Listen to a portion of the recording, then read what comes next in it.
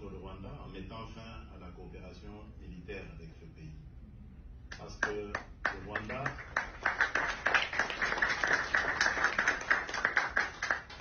le Rwanda a fait du génocide malheureux qu'il a connu une occasion pour euh, essayer de, conquérir euh, toute la région avec euh, des ambitions hégémoniques de la part de son leader qui a, écrasé tout sur son passage dans l'unique but de piller les ressources des, des, pays comme la République démocratique du Congo.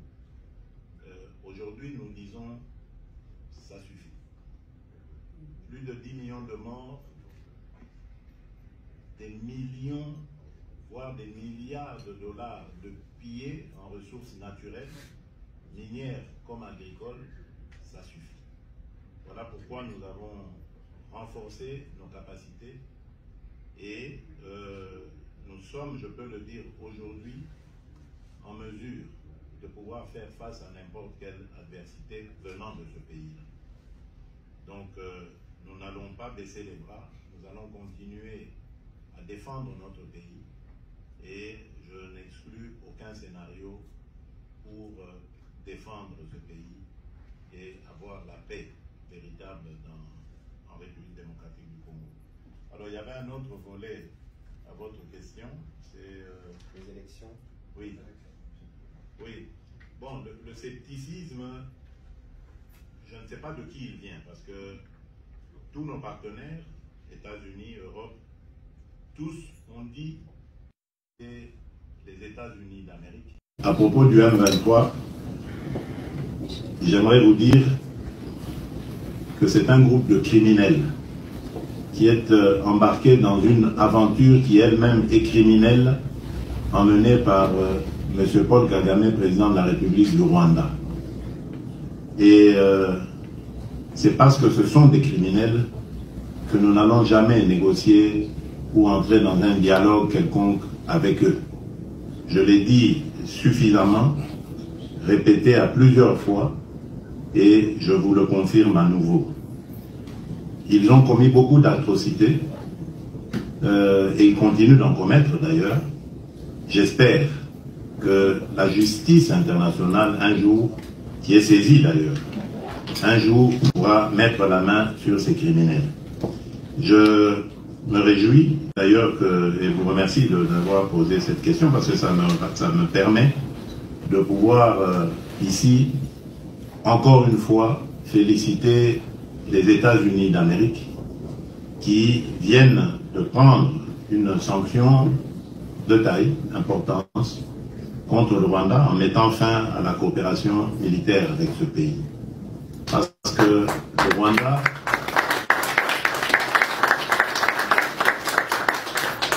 le Rwanda a fait du génocide malheureux qu'il qui, qui a connu une occasion pour euh, essayer de, conquérir euh, toute la région avec euh, des ambitions hégémoniques de la part de son leader qui a écrasé tout sur son passage dans l'unique but de piller les ressources des, des, pays comme la République démocratique du Congo.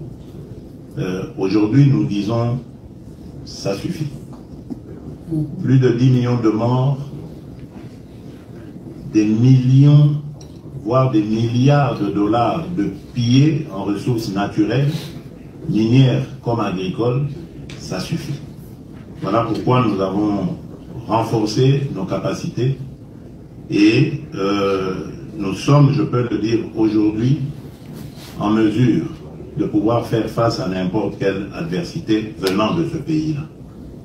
Donc, euh, nous n'allons pas baisser les bras, nous allons continuer à défendre notre pays et je n'exclus aucun scénario pour euh, défendre ce pays et avoir la paix véritable dans, en République démocratique du Congo. Alors, euh, bonjour Monsieur le Président. Merci de recevoir toute la presse euh, américaine et internationale à ce déjeuner de presse. vous avez dit votre attachement à la démocratie, vous avez dit combien vous étiez fier euh, d'incarner la première alternance euh, démocratique sans effusion de sang dans votre pays, c'était en 2018-19. Euh, et voilà que dans trois mois, vous êtes candidat à une nouvelle élection présidentielle. les Congolais votent et vous voulez que ce soit un grand rendez-vous avec la démocratie. mais toutefois, Monsieur le Président, est-ce qu'il y a deux arrestations qui ont eu lieu ces derniers temps? L'arrestation en mai dernier de Salomon Kalonda, le bras droit euh, de euh, l'un de vos principaux adversaires à venir, Moïse Katumbi, et est-ce que l'arrestation il y a dix jours de notre confrère de Jeune Afrique, euh, Stanis Boujakera, et ceci en dépit de la nouvelle loi que vous avez fait voter sur la protection des sources des journalistes, loi à laquelle vous êtes très attaché. Est-ce que tout cela ne risque pas de ternir votre bilan? Quels sont les engagements que vous pouvez prendre de ce point de vue euh, pour votre campagne et éventuellement pour votre second mandat si vous êtes réélu? Moi j'ai un principe, c'est celui de la séparation des pouvoirs. Et je crois que en occidental, convaincu et convaincant, vous comprenez bien ce que je veux dire. Je ne me mêle pas de ce qui se passe avec la justice. Mais évidemment, comme euh, le dit la Constitution, je suis le magistrat suprême. Sans juger, bien sûr, je peux m'enquérir de certaines situations sans m'immiscer dans, les, euh, dans les affaires de la justice, surtout lorsque cela euh, suscite des polémiques. Et donc je dirais que dans les deux cas que vous citez, ce sont des enquêtes qui sont en cours. Ce serait hyper maladroit de ma part de euh, d'oser faire un commentaire là-dessus. Tout ce que je fais et ce à quoi je veille, c'est que les droits de ces individus soient garantis et respectés. Maintenant, si on me prend, euh, on, arrive à me, on prend un défaut, on arrive à me démontrer que leurs droits n'ont pas été respectés, je suis prêt à aborder le, sujet. Mais une interpellation par une institution comme la justice, ça se constate. Pourquoi voudriez-vous que le même principe, par exemple pour, euh, pour la presse, j'ai lu d'ailleurs il y a quelque part là, qu'il y a quelques deux ans peut-être, je crois, une journaliste française avait été interpellée pour avoir divulgué des, informations euh, stratégiques interpellées et gardées à vue. C'est récent. C'est récent, oui. Aujourd'hui. Plus, plus, un peu plus loin, il y a Julian Assange aussi, qui avait euh, émis et qui a été traqué comme une bête immonde, parce qu'il est allé se cacher dans des ambassades, notamment en Grande-Bretagne, mais on l'a traqué jusqu'à le prendre, parce qu'il avait divulgué des câbles diplomatiques euh, stratégiques.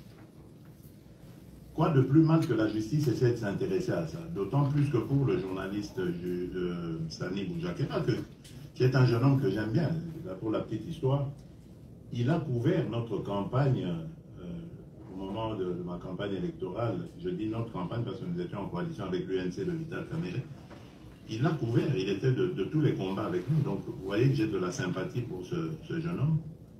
Je regrette ce qui lui arrive, mais je ne peux pas faire entrave à la justice et ne pas permettre à celle-ci de, faire toute la lumière. D'autant plus qu'on parle de, mort d'homme là. Euh, rappelez-vous, Chérubin Okende, ancien ministre, qui a été mon collaborateur euh, pendant longtemps, très apprécié d'ailleurs par moi, euh, est mort dans des circonstances suspectes qui, jusqu'à aujourd'hui, ne sont pas encore élucidées, malgré le fait que nous avons fait appel à des enquêteurs internationaux, belges, par ma demande personnelle adressée au Premier ministre belge, sud-africain, français aussi, un, élément euh, se trouvant en poste à l'ambassade du Congo et la MONUSCO, à l'ambassade de France au Congo plutôt, et la MONUSCO. Et malgré tout ça, on, prend le risque de désorienter l'enquête et l'opinion, donc je crois que ça peut intéresser la justice. Euh, quant à l'autre cas, euh, malheureusement, nous sommes en situation de guerre, nous imposée par euh, le Rwanda, et la justice s'est intéressée de très près aux accointances qu'il y aurait entre ces, personnes, entre cette personne et, nos, agresseurs. C'est ce que je peux dire à, ce stade sans vraiment violer le, secret de l'instruction parce que je tiens à la séparation du pouvoir. Mais en même temps, je tiens au respect des droits des personnes qu'on interpelle, des personnes qu'on accuse. Donc, euh, j'espère que c'est clair. Vous me permettez de dire, quand je citais ces deux cas, c'était pour demander à M. Bouvier pourquoi est-ce que lorsque ça arrive en Occident, c'est normal, et quand c'est euh, en Afrique, on pense qu'il y a anguille sous roche, qu'on est en train de, de violer les libertés des autres. ce sont les mêmes circonstances. Jamais je ne serai le fossoyeur, l'assassin de mes compatriotes. Je suis venu à la tête de ce pays pour promouvoir les droits et les libertés de mes concitoyens, les droits et les libertés des femmes. Euh, je, ne suis pas là pour euh, venir faire souffrir ma, population. Je suis moi-même issu d'un mouvement politique qui a énormément souffert de dictature, de violence et de, beaucoup de choses, comme des arrestations arbitraires et tout cela. J'en connais les horreurs, je ne peux pas euh, le souhaiter pour euh, un compatriote. Je ne le ferai jamais. Donc, euh, comme je l'ai dit, je veillerai à ce que le droit soit respecté, euh, mais en même temps, lorsqu'on a affaire à la justice, il faut euh, répondre à celle-ci.